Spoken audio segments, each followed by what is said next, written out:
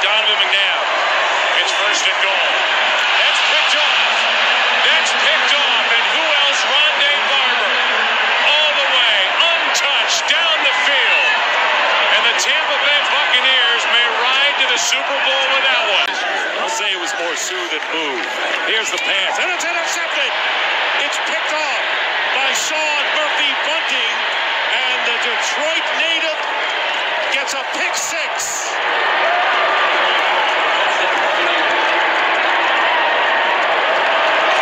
He's from Macomb and drafted out of Central Michigan on the second round. And what a thrill to come back home and get a pick six at a crucial time for the Buccaneers. Here he is back in Michigan making a play in front of his home state. Third down and seven. So the Lions are out of timeouts. They'll get the two-minute warning, and here's a pass to Perriman who catches it for his third touchdown play of the game.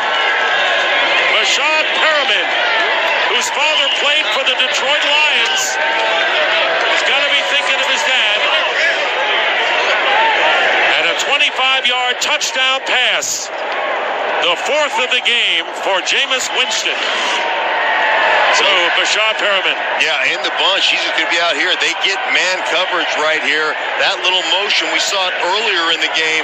That is what gave you the tip if you're Jameis Winston that you're in man, and then Breshad Perriman, a guy that can flat run and has got a great, great just rapport with Jameis Winston, goes over the top for the touchdown. So, Jameis Winston with four touchdown passes today.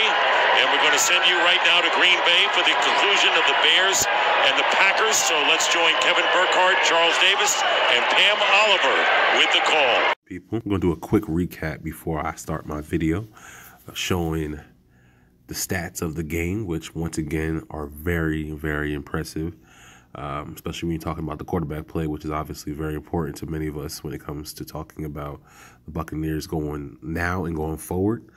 Um, obviously, Jameis had a fractured finger, thumb that was still ailing, but obviously it didn't affect him for the second week in a row. He threw over 450 yards, first time in NFL history. Very impressive, even if you're talking about beating or doing it against a 3 and 10 team. It's the first time ever done. So I don't care if you're playing a 3 and 10 team or 1 and whatever, that it's never been done. So that's very impressive, and you got, definitely got to give him the MVP on the offense. And um, also to be mentioned, Breshad Perriman had a hell of a game off of six targets, uh, five receptions, 113 yards, three touchdowns. That's probably his best stat line of his career. Um, obviously, you're seeing here is Jameis and him building a connection. Um, Got to give, you know, both of them their just due. Um, Jameis is obviously assisting with making players around him better uh, as we're seeing, because Mike Evans is out. We lost Chris Godwin, who still put up 112, 21 yards prior to going out. Um, you know, like I said before, he went out, and that's just a normal game for Chris Godwin. You know, he's definitely putting himself in that talk of some, you know, one of the top in the NFL. Um, but we probably lost him for the rest of the season, so it's going to be slim pickings coming into this next game against Houston. But um, two of your players that were very impressive. Running the running stats here, you can obviously see it. Another terrible performance, which this is going to be addressed on the off season. You know, I'm going to talk about in my video, but you know, yeah, it's not been good. But on defense, the one player you have to mention is definitely Sean Murphy Bunting. Obviously, you saw the video prior showing the uh, Rondé Barber pick that took us to the Super Bowl. Yes, Sean Murphy Bunting also had a pick six that no, it's not taking us to the Super Bowl, but it looked so similar, and they both had one hell of a games. Um, you know, on the on the road. Um, obviously, Rondé's was more important because it took us to the Super Bowl that got us our ring, but you know, it, it looks so reminiscent when you look at the two games. But um, I had to mention Sean Murphy Bunting, and he is definitely your defensive um, player of the game. And get ready for my video. Peace.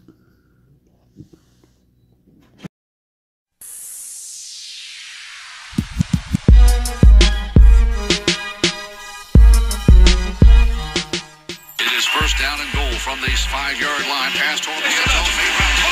Again. Fire those cannons. Six.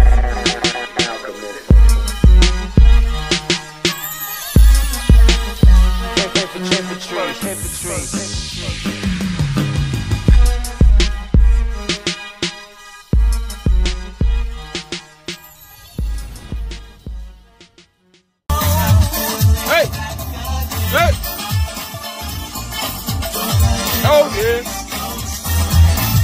Tampa Bay Buccaneers are back. Are?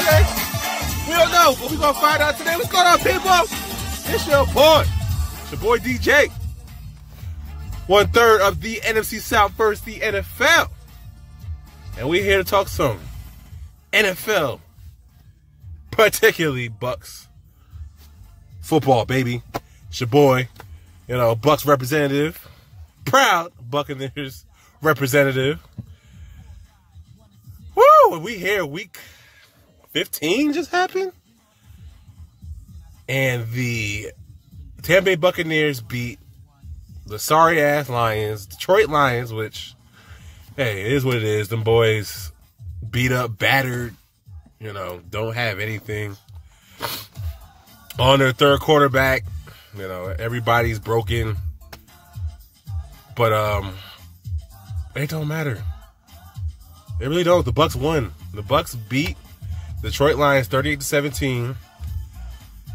Um, if you watched the video right before this, saw me uh, highlight that Sean Murphy Bunting pick six, man. I, man, when that pick six happened, man, the reason why I put those two videos together, everybody's gonna be like, oh, well, we ain't going to the playoffs and stuff like that.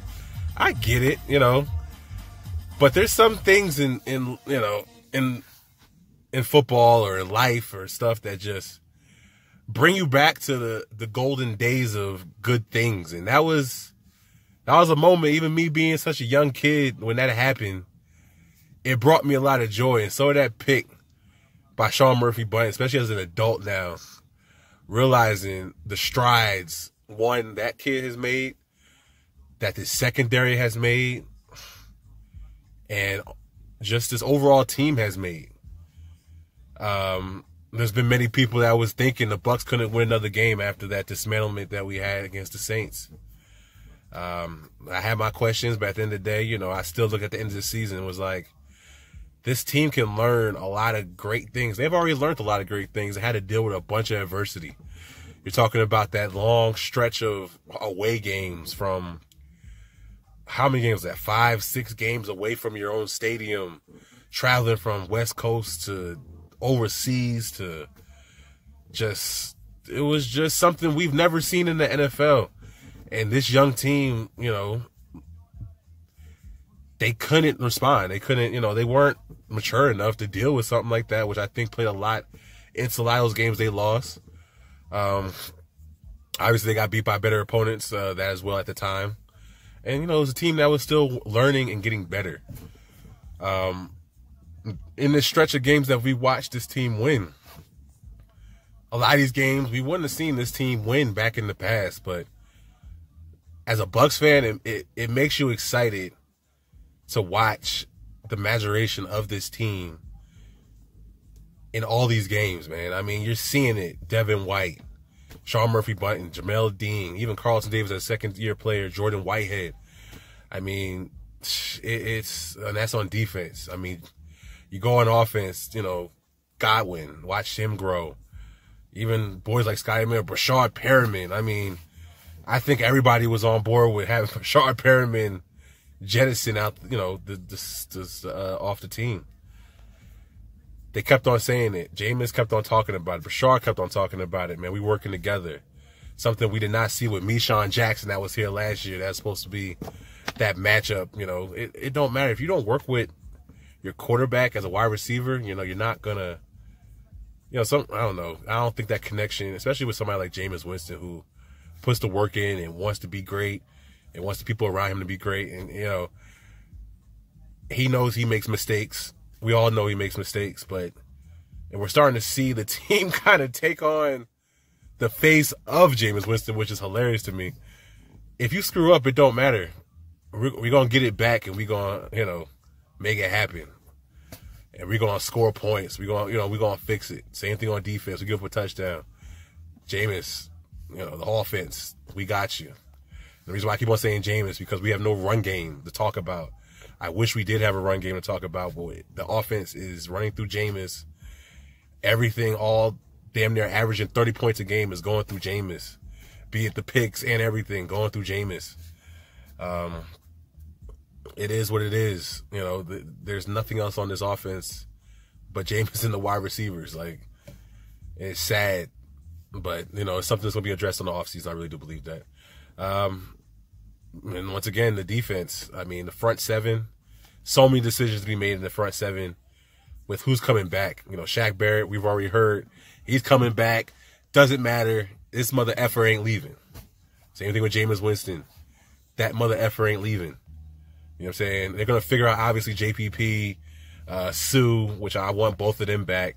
Nassib, if he signs back, cool, but he's not one of my highest, you know, off-season acquisitions because I feel like we do have a young cat, uh, Anthony Nelson, that you know can slide in there and you know give you some needed depth. I would love to have Carl Nassib. I like him as a player. I like him as everything, but it's always gonna come back down to the money. But um, yeah, man, it's just so much as a Bucks fan. If you're not excited about what's happening with this team, one, I don't know what you're watching. If you're worried about draft picks, shut up. Once again, I think I said in my last video, shut up. You sound dumb right now because I mean, we this team needs to learn how to win. There's too many young players on this team that's going to be around that's showing so much promise. A draft pick, a, a top 10 draft pick, I don't care if it's top 10, top 15, top 20. If you don't pick the right player, what what doesn't matter? You know what I'm saying? Like we picked Adrian Clayborn over Cam Jordan, and Cam Jordan was like the 20th overall pick in whatever draft class that was. I mean, we picked Mark Barron over Luke Kuechly. I mean, how many mistakes we have to? We picked Vernon Hargreaves over. I mean, people. I mean, that was my pick with Sheldon Rankins, um, but we picked him over him. Um, I mean, it doesn't matter. We've had top pick Cleveland Browns have had so many top picks. They're a talented ass team. These mugs are still losing. Like, I mean, come on, man. Draft picks don't mean nothing, man. I mean, they mean something, but the position, I honestly don't think it really matters. Um, because you can find good players around the draft. You can find good players in all rounds of the draft. It's all about the pedigree that you're bringing in. And, you know, that's my personal opinion on, on draft. But we're not talking draft right now. We're talking Buccaneers winning five out of six games. I mean, you're talking about um, a team that is just building something that is special in that locker room.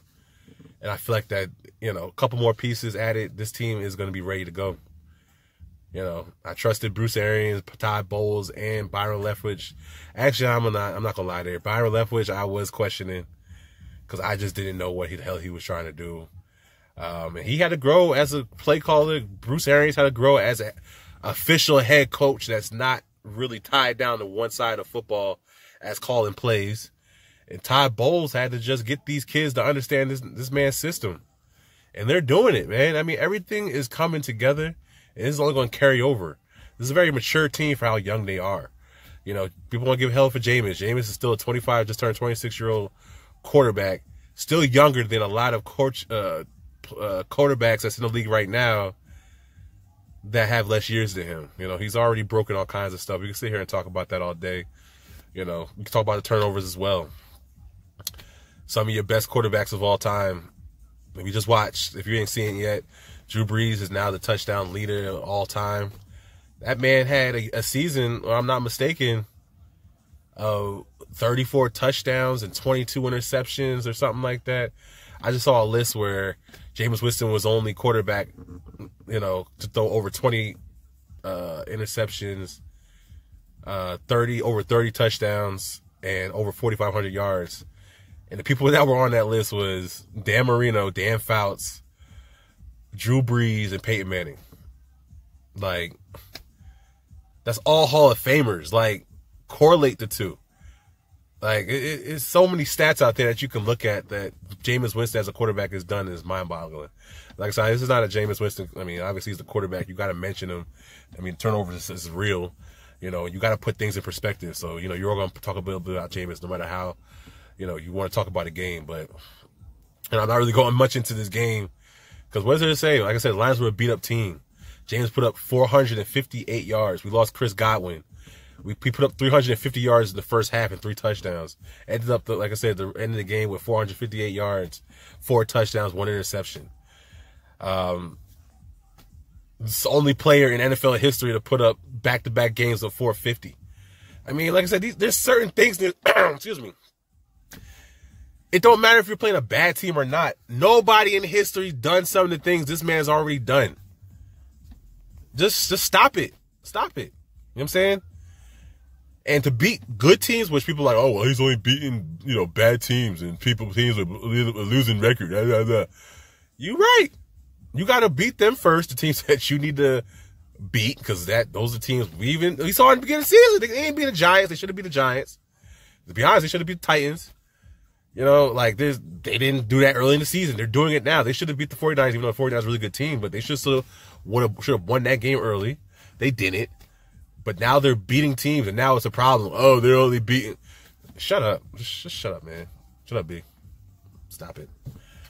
Um, but yeah, like I said, now we're we're down our top two wide receivers, Mike Evans. I may mention this in some Facebook page. Is this vertical offense that strenuous on your hamstrings? Like you are running a lot of long routes. You're overextending a lot to run over 10, you know, 10 yards. There's not many offenses doing this, which I feel like is a huge impact on a lot of these hamstrings. I think BA's already mentioned that he's going to to reevaluate some of the things that he's doing or has this offense is doing because, you know, it's something is happening. It's happening to the wide receivers particularly. Um, Scotty Miller went out, you know, probably was on track to have one of his best games. Like I said, Breshad Perriman having three touchdowns. You're the number one receiver right now going, going into the last two games, man. You've been looking good. You know, it seems like all that hard work is paying off. Uh, we need to bring him back as well because he's he got a rapport now with Jameis. Um, you know, defensively, he did enough to win. Sean Murphy picking that ball off. Finally, a defensive back. Out of all the times they touched the ball, finally picked off a damn pass. Thank you.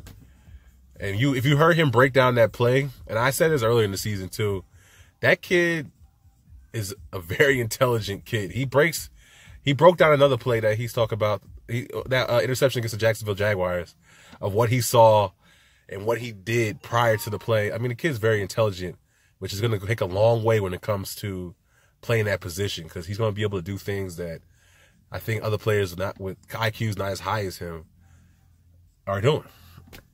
Um, but man, it's just so encouraging. Oh, it's unfortunate we lost Jordan Whitehead too. I mean, you're seeing the injury start to mount up. It, it's sad to see it because we're about to play an opponent and we're not at full strength, which, you know, it's NFL. It is what it is. You got to go out there, you know, on a Saturday, play to Houston. Actually, Houston Texans are coming to us. Another opportunity, you have an opportunity now to show, you know, some of the naysayers that, you know, you are turning the page, um, which I think they already have. But, you know, if they lose this game, you know, all that noise is going to come back which I don't really care, to be honest. I think I've seen already enough um, with this team to think that going into next year, um, we should expect some good things coming.